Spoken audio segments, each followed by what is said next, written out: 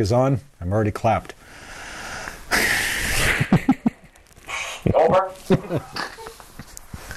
Are you clapped? Don't hit my toe, please. Yeah. Um, Oh my gosh. All right. Ladies and gentlemen, we have a problem. Hmm. I get really annoyed when people talk about old ABA and new ABA. I mean, really annoyed. And I don't mean to pick on any one person that says it. How annoyed are you? I, we're not going to talk about how annoyed I really am. I'm so annoyed that I wrote a Google Keep to do this.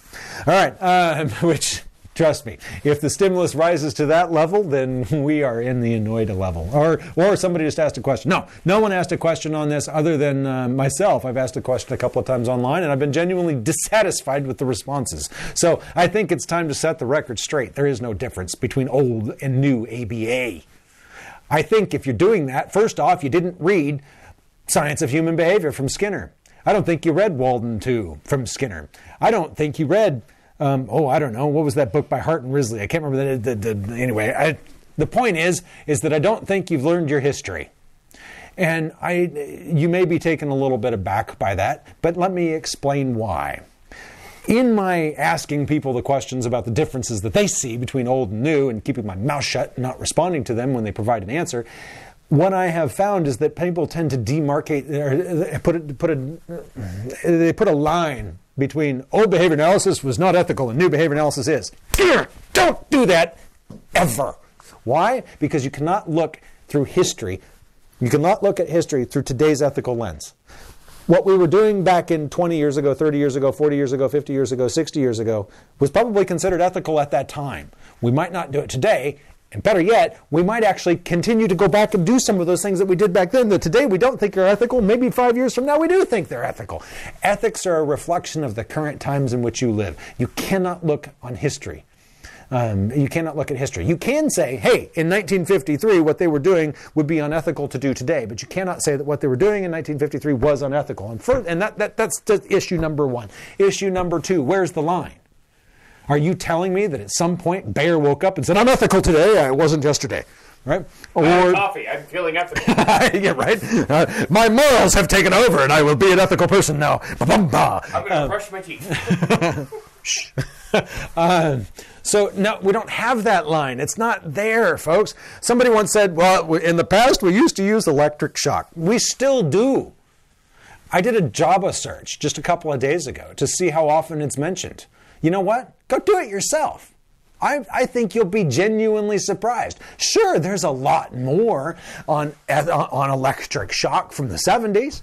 There's a lot more than what's out there today. But I think what you'll find is the use of electrical shock today is extremely nuanced and it's extremely minute, but it's still there. In other words, we're true to our science. We've learned. We studied the tools, we studied techniques in the 60s and the 70s and the 80s and the 90s and the aughts and whatever we're in now. And they've been modified. We did the research. We said, hey, this worked well, this part didn't. You know, this part didn't really wasn't, we don't think that was really good for kids. That, that, that didn't, dogs, that wasn't so nice. Maybe, can we do something different? And so we do something different. So don't tell me there's an old and new ABA and stop using that as a defense for what you're doing today. Please. Because there is no difference between what we did in 1970 and what we're doing today. What you have is the a natural progression of a wonderful science. And to say that the old was bad is to completely ignore your history. Go back and read some of the philosophy. Go back and read what Skinner was talking about in Walden 2. Go back and read the science of human behavior. Go back and read schedules of reinforcement. I dare you. Because what you're going to find out is the principles that were put, put in place then are still here today. We're still empirical. We still respond to our environment. We still look for tools that are effective, and we still are ethical. And oh, yeah, if you think that we were completely focused on punishment back then, I think you'll be surprised because a vast majority of those books that I just referenced were talking about reinforcement. Because reinforcement builds behavior, punishment decreases it. That's not new. That didn't develop in 2012.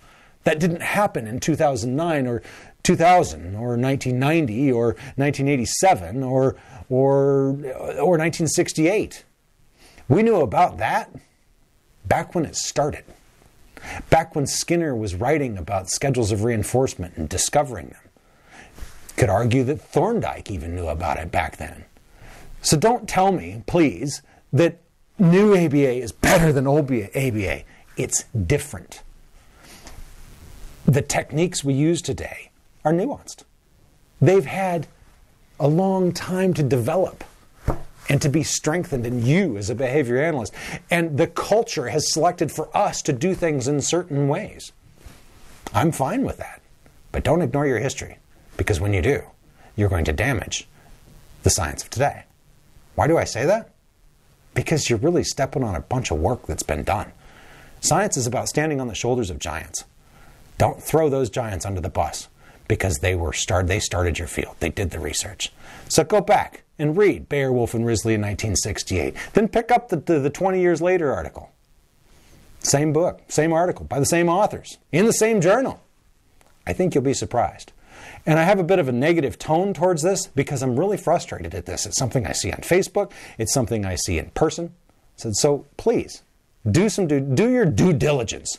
Go back and read your history. I think you'll be surprised. And feel free to ask questions. Feel free to tell me I'm wrong. We'll have a discussion, albeit maybe a little one sided. So, anyway, see ya. Have fun. Bye. Joke's on you. You made it to the end of the video. Like, subscribe, share. Bye.